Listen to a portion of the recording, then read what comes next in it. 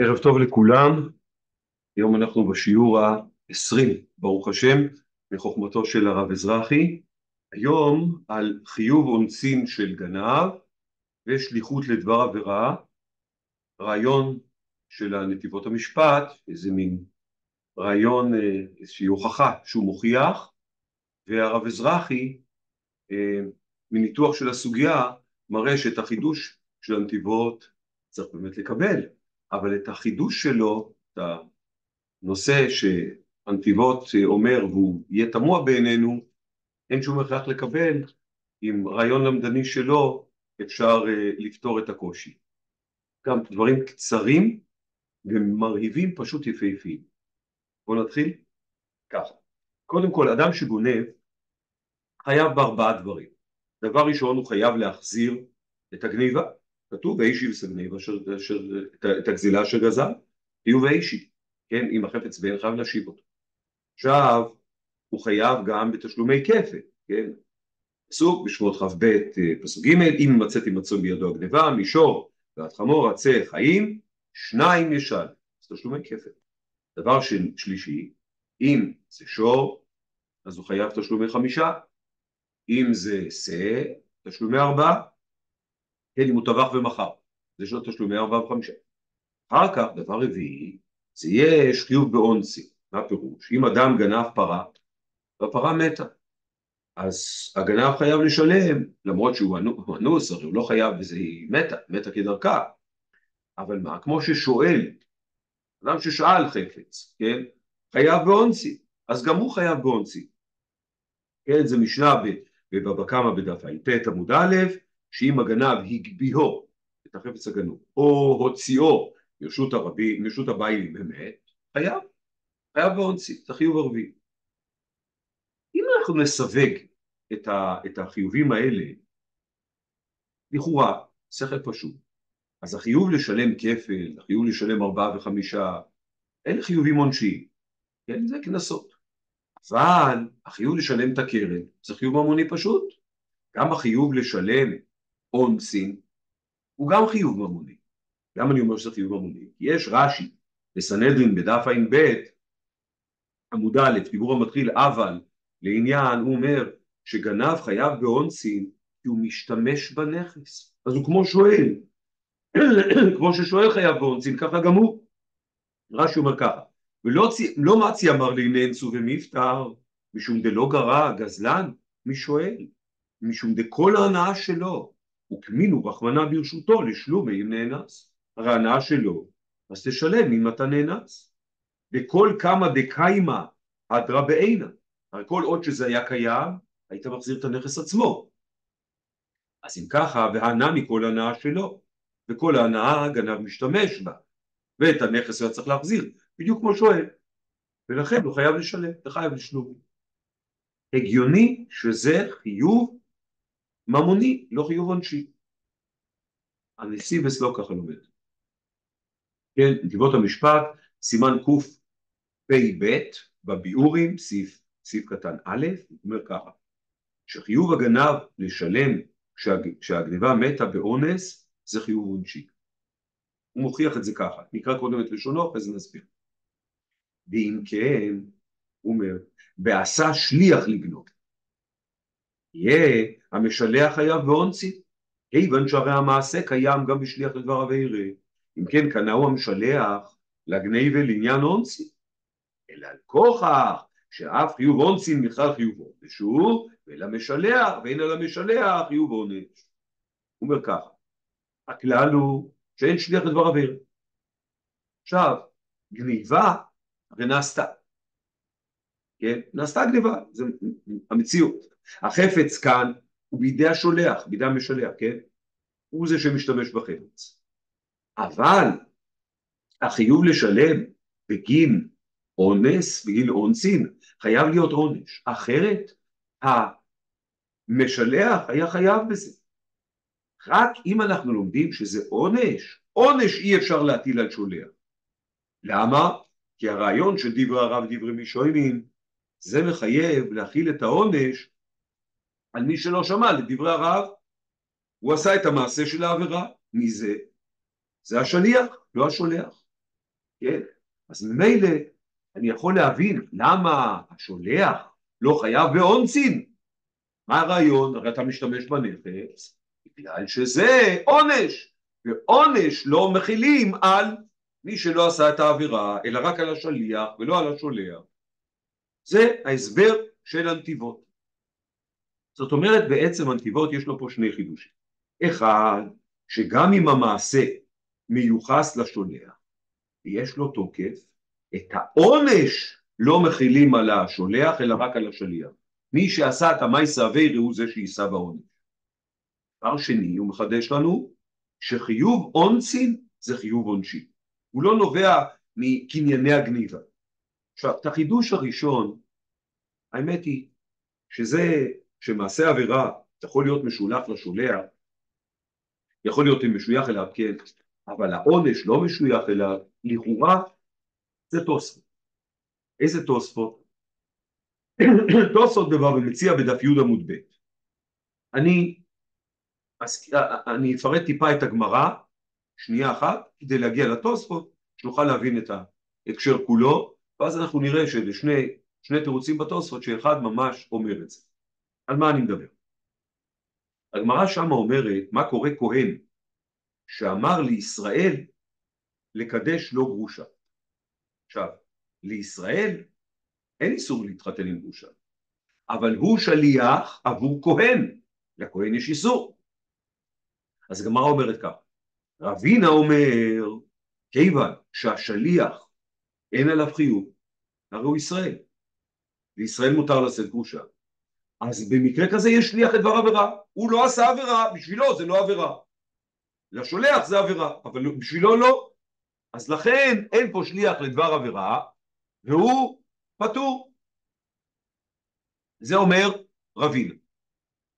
לעומת זאת, רב סמא אומר, מכיוון שהשליח יכול לבחור לא לבצע את השליחות, מי אמר לו? הוא יכול להחליט שכן, יכול להחליט שלא. זה לא כמו קרקע, כמו איזה שדה שאתה שם בה את, ה, את, ה, את הדבר. אז אין שליח לדבר עבירה, הרי הוא יכול לא לבצע, הוא מבצע. זאת אומרת, זה בעצם החלטה ערכית שלו. כשבן אדם עושה שליחות ויש בדבר הזה עבירה, ודברי הרב, דברי התלמיד, דברי נישומים, המשמעות היא שהקדוש ברוך הוא אומר אל תעשה, ואתה מחליט לעשות, זו החלטה ערכית שלך, אל תגיד ששלחו אותך. אז אתה, מחל... אתה החלטת, לכן אתה חייב. בא תוספות ושואל שאלה, הוא אומר, יש שיטה של רבא בקידוש, בדף הי"ח, שכהן שמקדש אישה גרושה, אין על זה מלקות. המלקות הן רק על הבעילה, לא על הקידושין. הקידושין הם לא הדבר שמכילים עליו את המלקות, אלא רק כשהוא מה שנקרא מממש את הקידושין, כשהוא בועל. אז אם ככה, גם לשיטת רבינה, שיש כאן שליח לדבר עבירה, למה? כי השליח לא בר חיובה, אבל הוא לא צריך ללקוט השליח. למה? כי על הקידושין הרי לא לוקים. אז מה נפקא מינה בין רבינה לרב סמא? שאלה של תוספות. עונה תוספות שתי תשובות. תשובה אחת, שיש עבירה גם על הקידושין. גם על הקידושין יש עבירה. נכון שאתה לא לוקה עד שהכהן לא לוקה עד שהוא גם בועל את הגרושה הזאת. אבל כשהוא, כשהוא בועל הוא לוקה גם על הקידושין שהוא עשה. והוא מוכיח את זה גמרא בתבורה בדפי עמוד א', זאת אומרת שכשהוא בועל אז הוא כבר משלים את המייסי קידושין, והמייסי קידושין הוא העבירה. דבר שני הוא אומר, אם יש שליח, תירוץ שני, אם יש שליח לדבר עבירה, חלים הקידושין. ואם אין שליחות, אז הקידושין לא חלים. זאת אומרת, הנפקות היא האם הקידושין חלים או לא חלים. כי אם יש איסור, יש דין של אין שליח לדבר עבירה על הדבר הזה, אז אין בכלל קידושין, אין חלות. זאת תהיה הנפקות. אז אם נסבור כדעת רב סמא שאין שליח לדבר עבירה, אין קידושין. אומר הנתיבות בקפ"ב שם, בסעיף קטן א', שמה ההבדל בין שני התירוצים? מה המשמעות של אין שליח לדבר עבירה? האם המשמעות שהשולח פטור מעונש, או שהמשמעות היא שאין בכלל חלות למעשה, הוא לא, הוא לא תקף. על פי התירוץ השני כתוב במפורש שהמעשה של הקידושין לא חל, הוא לא תקף. מה אומר התירוץ הראשון? התירוץ הראשון אומר בתוספות שלמרות שאין שליח לדבר עבירה הקידושין חלים תוקף יש לזה רק הרעיון הוא שמי ילקה בגין הקידושין האלה? השליח ולא השולח זה פותר את השולח רק מהעונש כן? תוצאות המעשה מיוחסים לשולח רק העונש לא למה? כי את העונש את העונש צריך לתת למי, ש, למי שעשה עבירה וזה עשה השליח אז החידוש הראשון שאמר הנתיבות זה לכאורה שיטת תוספות בתירוץ הראשון. אבל הדבר השני, להגיד שאונסין זה ענישה, חיוב באונסין אצל, אצל גנב, להגיד שזה עונש, זה לא קנס, זה לא, הוא פשוט משתמש, אז הוא כמו שואל. זה חידוש נוסף, אבל הוא לכאורה מוכיח את זה. כי אחרת אם אני, אם אני שולח מישהו לגנוב, אז למה המשלח הזה לא יהיה חייב באונסין?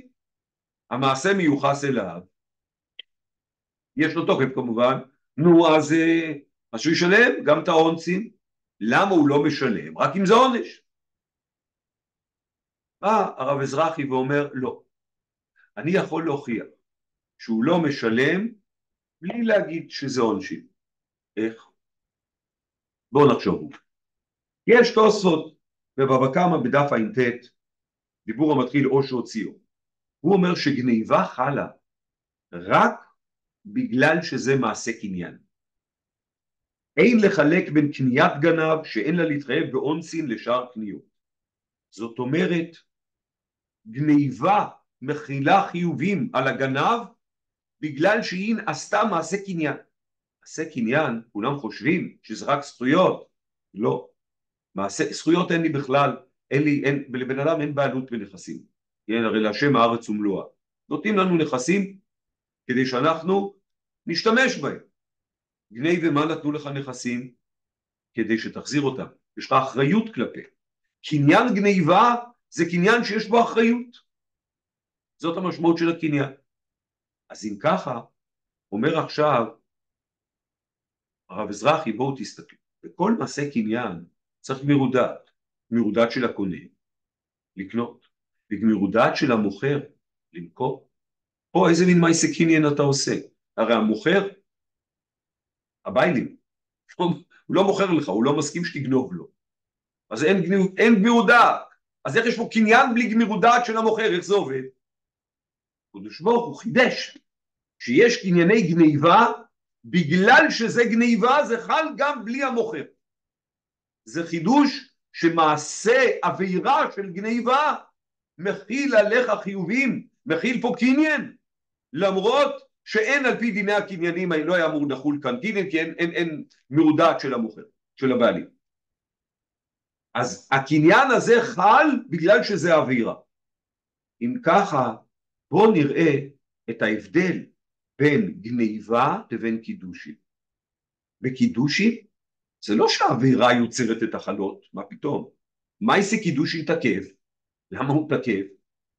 כי גם כשהאישה גרושה, בין שהיא רווקה, לא חשוב בכלל, יש מקדש, יש מקודשת, יש עדים, יש מעשה קידושין, יש קידושין, יש תוקף, פשוט.